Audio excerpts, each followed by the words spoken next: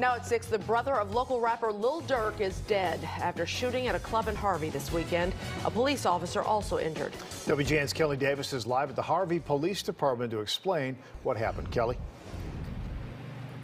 Good evening. Harvey police tell me they were doing routine safety patrols at Club O as it was closing late Sunday night, early, er, late Saturday night into early Sunday morning. That's when this all went down and multiple shots were fired. Then two hours later, another fatal shooting. Police say they are looking into possible retaliation at play here.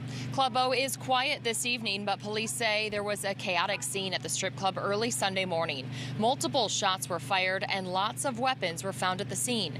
Dante Banks was killed when he was shot in the head. Banks is the older brother of locally known rapper Lil Durk.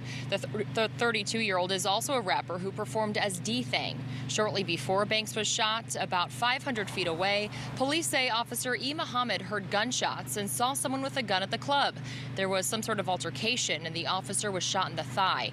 A spokesperson from the police department says Muhammad was treated and released in good condition, but it's unclear if the officer was targeted or or if he returned fire. Around 2 a.m. on Sunday morning, about two hours after the shooting at the club, there was another fatal shooting. Police tell me this one happened on West 55th Street, where 39 year old Seneca Price was killed.